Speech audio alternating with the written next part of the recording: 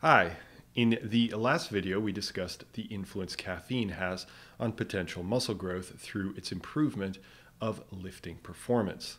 I'd highly recommend you check out that video, but to be honest, it isn't required this time around.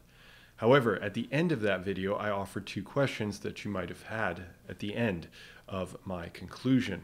First, can a person consume less caffeine and get the same positive effects?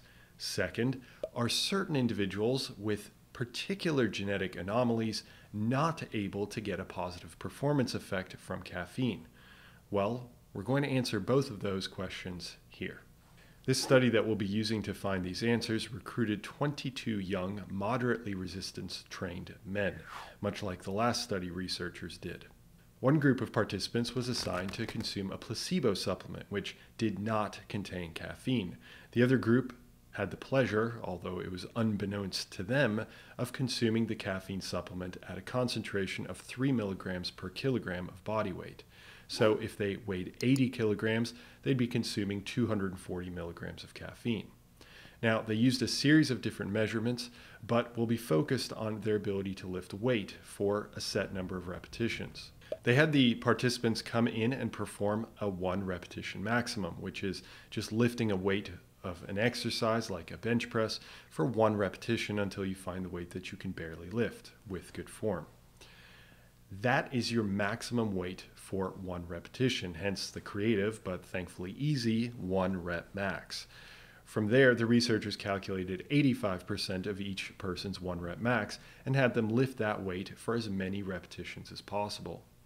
For example, if a person could lift 100 kilograms on the bench press for their one rep max, the researchers, for the actual measurement portion of the study, loaded 85 kilograms and had them lift that weight as many times as possible.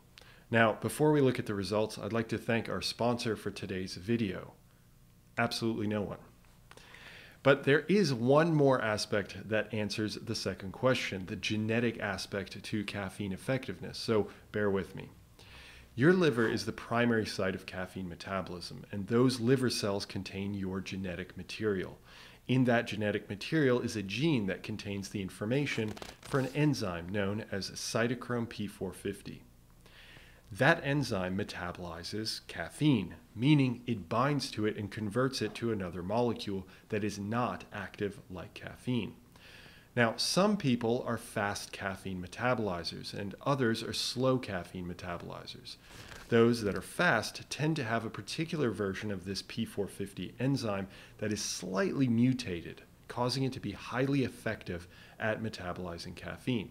This is known as the AA polymorphism.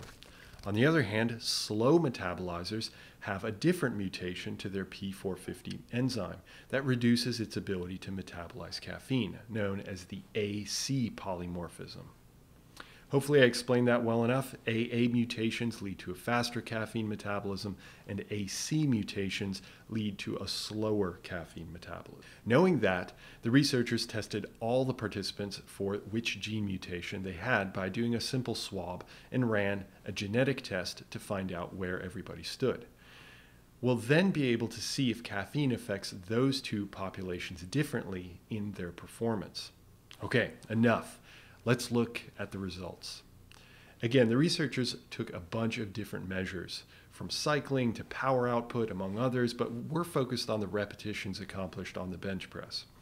They supply this giant chart with a bunch of numbers, but I just took those numbers and made a graph because, well, it's just easier to digest. Here, we're looking at the caffeine versus no caffeine, but with the additional stratification based on slow caffeine metabolizers and fast caffeine metabolizers.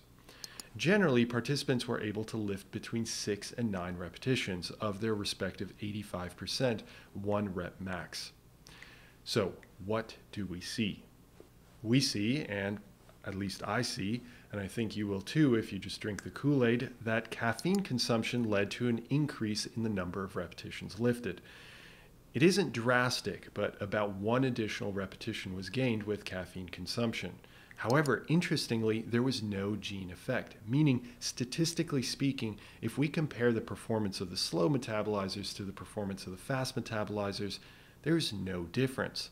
Taken together, this study shows us that the answer to our two questions One, we can still experience a benefit to lifting performance as measured by total volume or the number of repetitions lifted, even with a lower caffeine intake. Two, if you metabolize caffeine quickly or slowly, it doesn't matter. You'll experience a benefit regardless. But here we are discussing data, and while that's all useful and offers us fantastic insight, I hope you're the kind of person that has an unquenchable thirst for knowledge, like me. So if you're curious as to how caffeine has these effects in your body, as well as some added nuance to everything that we've discussed here, I'd encourage that you check out the next video in the series or watch one of my others. With that, I appreciate you stopping by, and I'll speak with you on the other side. Bye.